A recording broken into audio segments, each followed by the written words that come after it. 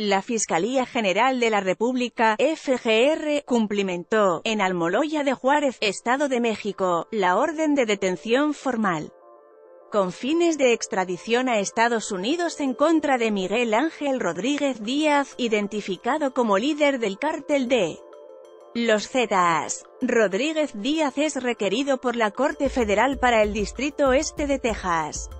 De acuerdo con autoridades, de EU, entre 2007 y 2012 fue integrante de alto rango de los Zetas y cabecilla de la organización que operaba en Texas, además se dedicaba al tráfico de cocaína.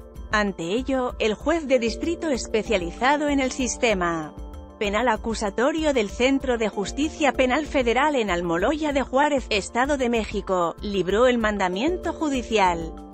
Fueron agentes de la Policía Federal Ministerial, PFM, adscritos a la Dirección General de Asuntos Policiales Internacionales e Interpol, quienes cumplimentaron la orden de detención sin uso de la violencia ni afectación a terceros, con respeto en todo momento a sus derechos humanos.